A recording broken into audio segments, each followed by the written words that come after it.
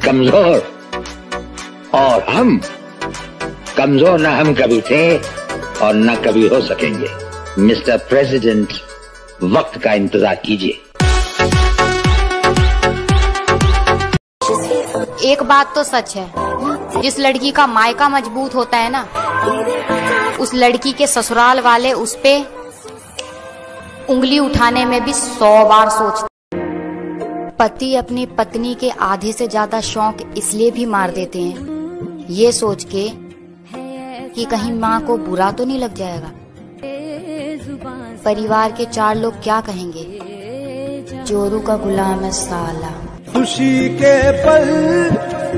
ऐसा मर्द ज़िंदगी बर्बाद कर देता है जो ना साथ रहना चाहता हो और ना छोड़ना।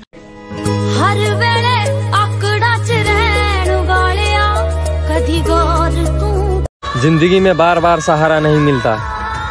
बार बार कोई प्यार से प्यार नहीं मिलता। जो पास है उसे संभाले रखना। जो एक बार खो जाता है वो दोबारा नहीं मिलता। अच्छा फिर क्या हुआ? फिर फिर मैंने उसे भी जाने दिया जिसके जाने से मेरी जान जाती थी। कितना बेचैन हो के